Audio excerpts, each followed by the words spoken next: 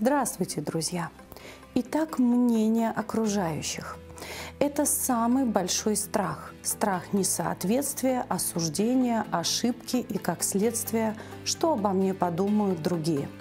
Именно этот страх не дает нам возможности жить той жизнью, которой мы хотим одеваться, как мы хотим, заниматься тем, чем нам нравится. И именно поэтому мы постоянно находимся в определенном напряжении. Нам очень важно, что подумают о нас люди. Каждый раз что-то говоря или каким-то образом действуем, мы отсылаемся на то, что о нас подумают. Это всегда самооценка.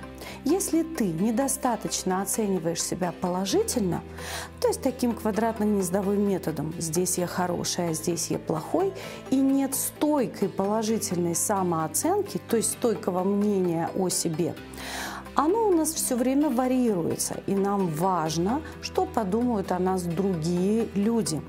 Даже не столько важно, а сколько страшно. Вдруг вот это «я плохой» через других людей будет подтверждено, и мы получим доказательство «да, действительно, я плох». Но самое главное, что нужно понять – Другие люди чаще всего о нас ничего не думают. А даже если они что-то подумают, то не всегда вы об этом узнаете. А если для вас так важно вот это мнение окружающих, необходимо сделать ревизию. Попробуйте определить, чье мнение для вас действительно значимо. И, наверное, тогда к нему нужно прислушиваться, если только это не форма критики. Ведь критика – это осуждение с целью дать другому человеку негативную оценку. А любая оценка – это всего-навсего видение или предположение другого человека.